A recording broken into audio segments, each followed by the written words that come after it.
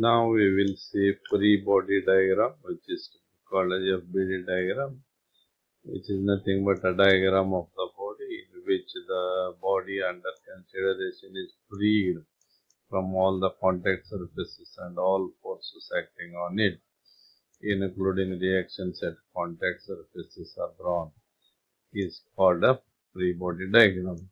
The free body diagram is the most important single step in the solution of problems in mechanics. Procedure for drawing a free body diagram 1. Draw a neat sketch of the body assuming that all supports are removed. Secondly, FBD may consist of an entire assembled structure or any combination or part of it. Thirdly, show all the relevant dimensions and angles on the sketch.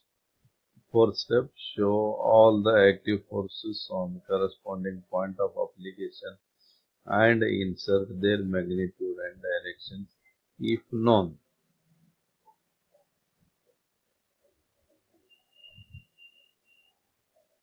Then FBD should be legible and of sufficient size to show dimensions since this may be needed in a computation of moments of forces. Next one is if the sense of reaction is unknown, it should be assumed.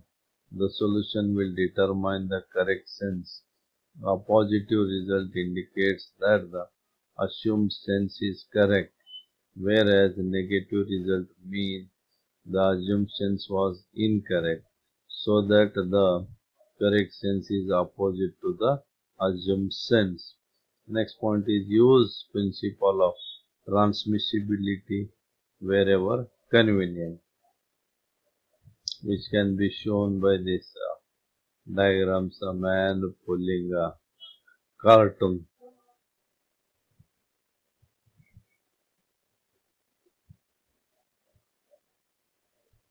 Again, a man is climbing a rock with the help of a rope, which is again studied as pull of rope, where we are uh, studying friction of cliff, push of cliff, pull of gravity, F,